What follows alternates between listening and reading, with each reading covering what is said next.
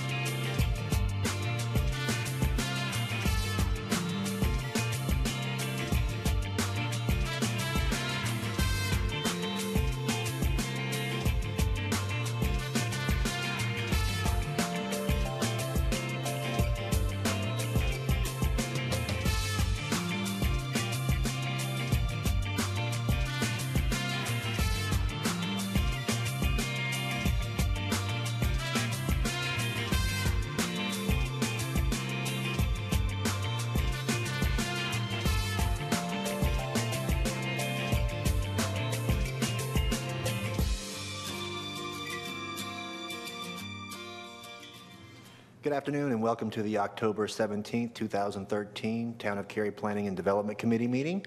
Uh, I'm the chair, Don Frantz. To my left is Mayor Pro Tem Gale Adcock. To my right is Councilman Ed Yerha, and to his right, Assistant Town Manager Mike Bajorek. Uh, We have two items up for discussion this evening. Uh, The first is uh, New Hope Church Road Trailhead Master Plan and Community Appearance Manual Standards related to ancillary buildings. And we'll hear from Mr. Paul Kuhn of our staff. How you doing, Paul? Hey, good evening, council. Uh, The staff report before you this evening is about the New Hope Church Road Trailhead Master Plan and seeking an amendment for the Community Appearance Manual for exemption of the ancillary buildings.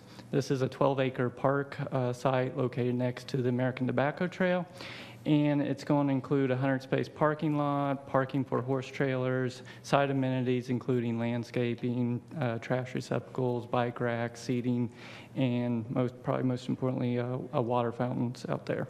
There's also picnic shelters and restroom included, and the restroom structure was designed to blend with the uh, architectural context of the area and was derived from the vernacular um, barn and shelters out in, in this part of the, the county.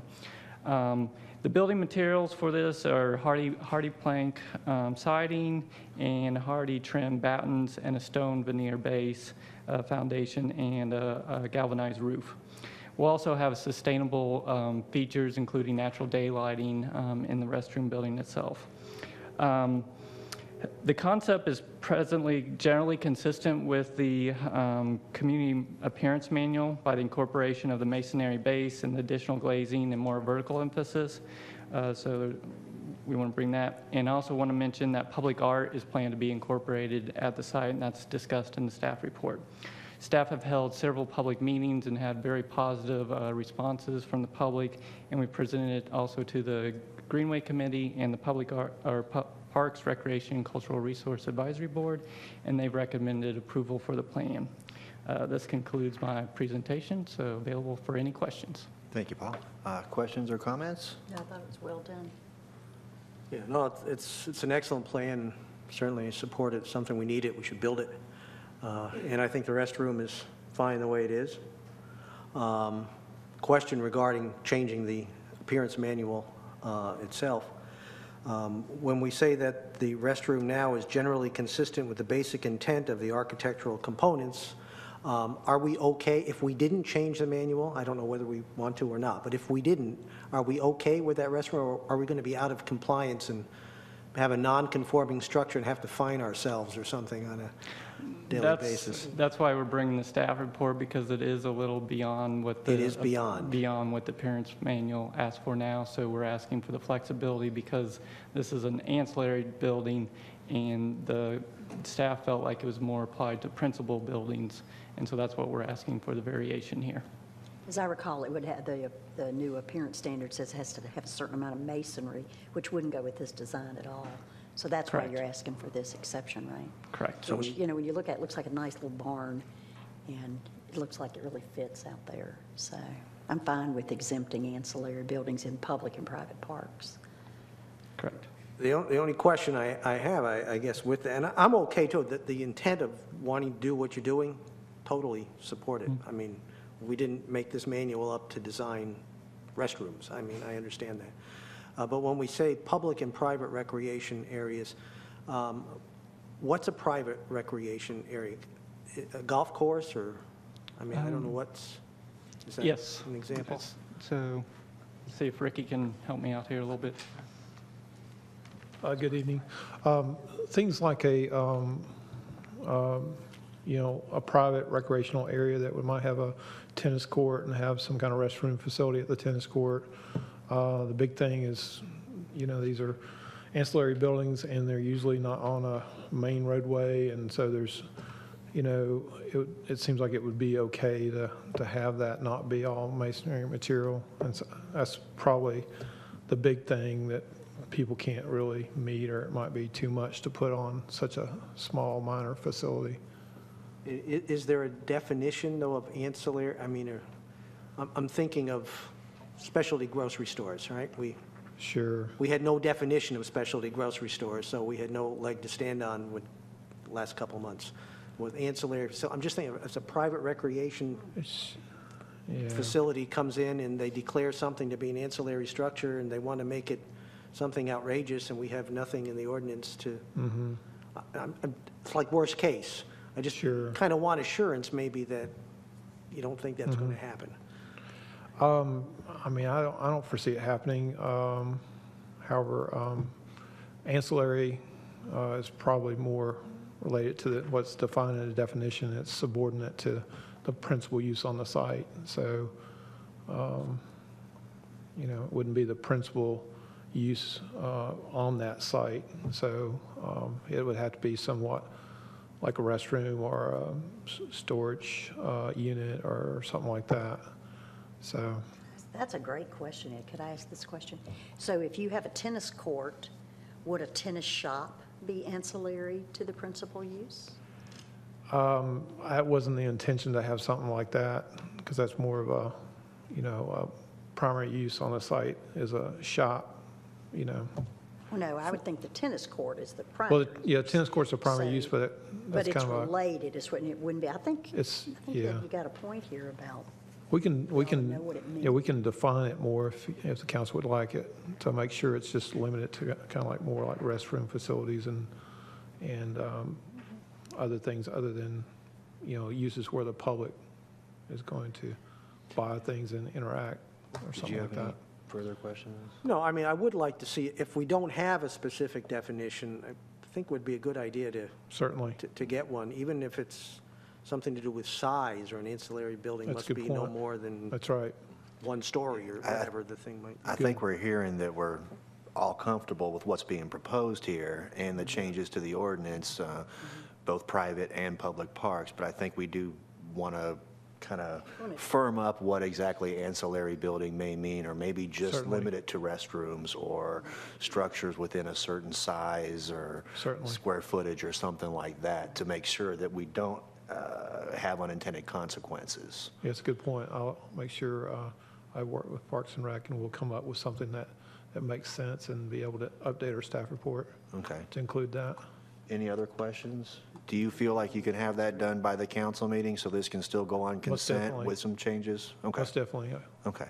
Well, then that's what we'll do then. Sure. Thank you very much. Thank you. Let me get back here. Next up for discussion is Koka Booth Amphitheater, uh, Management Plan and Budget, and we'll hear from Mr. Lyman Collins. Good evening, counselors. Good evening. Um, As you can see in the staff report, we are projecting another positive year for the amphitheater. Um, even since the, since this report was written, as we're able, getting closer in the final weeks of the season, it's appearing that we're probably going to improve our bottom line by about $5,500. Um, We'll know even more after this weekend, um, but um, right now, it's looking like uh, that we will be projecting a little bit better. We will end the year a little bit better than we are projected in the original staff report.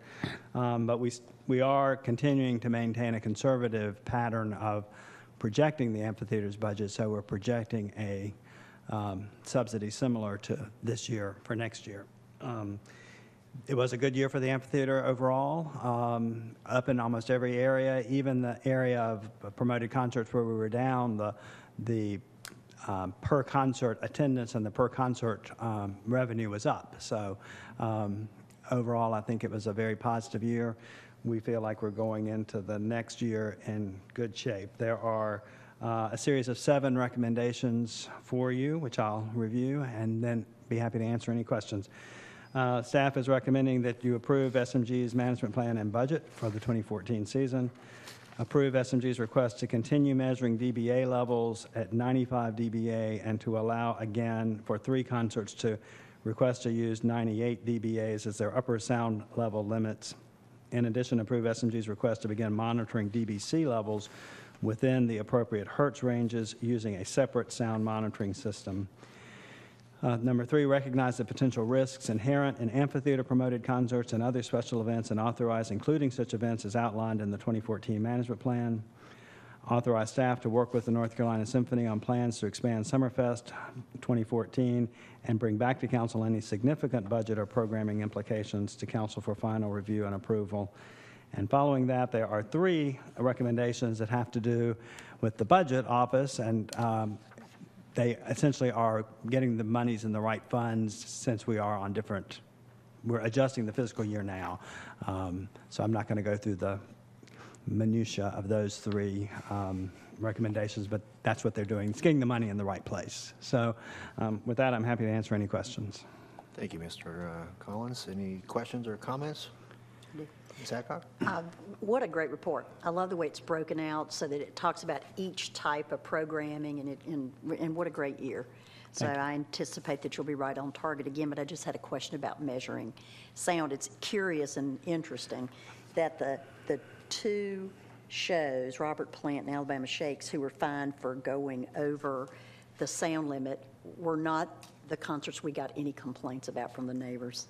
Um, and it was the Robert Plant concert that, where the, the consultant did the measurements, and he did a really nice job. I think I figured out the answer to my question, Lyman.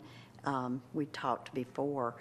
My question was, how much to rent the second sound system, which would measure the DBC, not just the DBA? And in, and I think it must already be in your bottom line number. It is, that's correct. Okay, because it says in the staff report, it says, um, SMG has incorporated the cost for rental of such a system in the overall 2014 operating budget, so it's not broken out, it's in that number.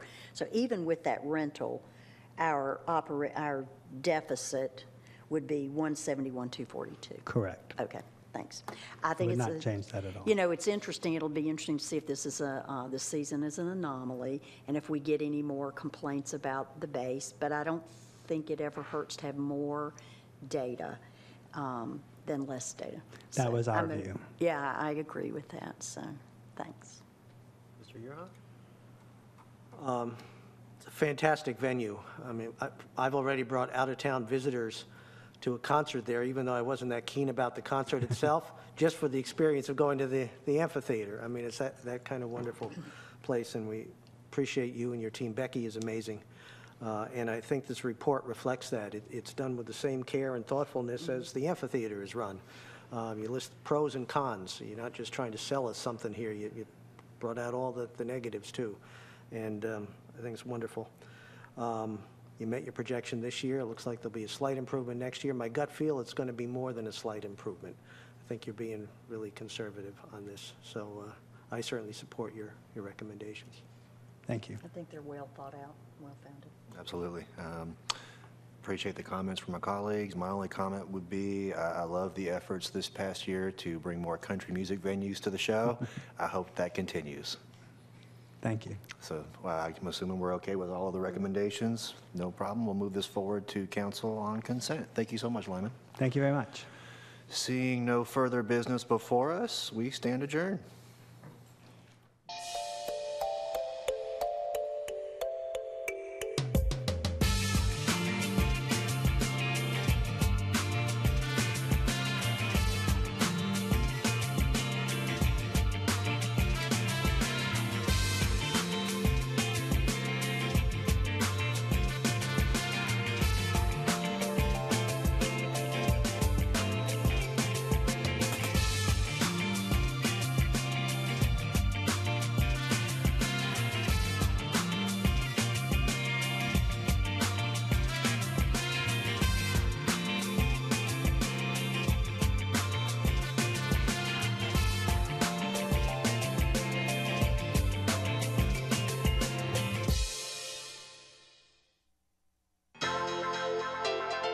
This has been a production of Cary TV. Visit the Town of Cary's website at townofcary.org.